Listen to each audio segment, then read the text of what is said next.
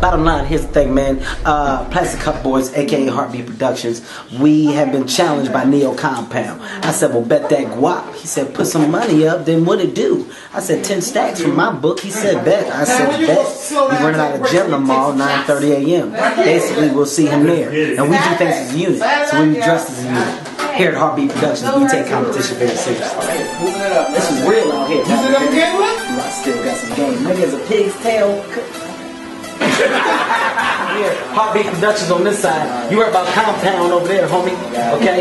You worry about y'all. Y'all probably gonna be out there playing in some black gloves with the fingertips cut off.